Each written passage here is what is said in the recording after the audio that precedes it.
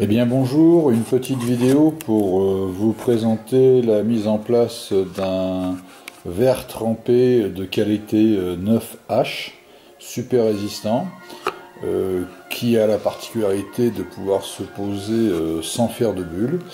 J'ouvre devant vous le, coffret qui contient donc le verre trempé qui est sous blister. Vous avez euh, des étiquettes adhésives pour manipuler le verre et vous avez deux jeux de lingettes, une sèche et une humide, qui ont pour effet de pouvoir nettoyer le verre du smartphone avant son positionnement. Euh, ce verre est dédié euh, donc à un smartphone de marque Samsung de type Galaxy euh, S7. Donc au niveau du positionnement, on sort déjà dans un premier temps l'écran. On, fait un, repérage avec la protection d'écran qui est toujours en place pour voir comment le positionner. Comme vous le voyez ici, vous avez donc deux découpes euh, qui sont prévues, l'une euh, pour euh, le bouton principal et l'autre pour le haut-parleur ici. Donc l'astuce va consister à faire déjà une très bonne préparation au niveau du, nettoyage de l'écran d'origine.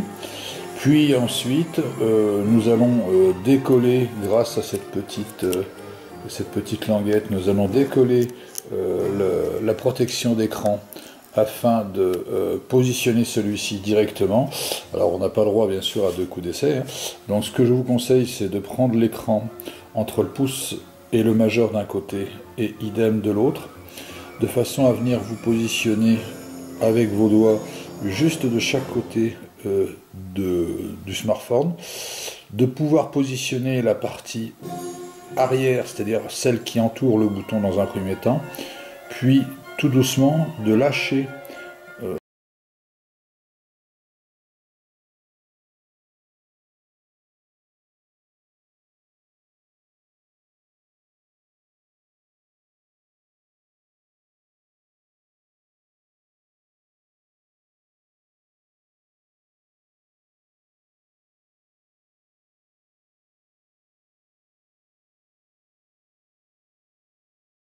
pour effet de pouvoir nettoyer comme il faut l'écran.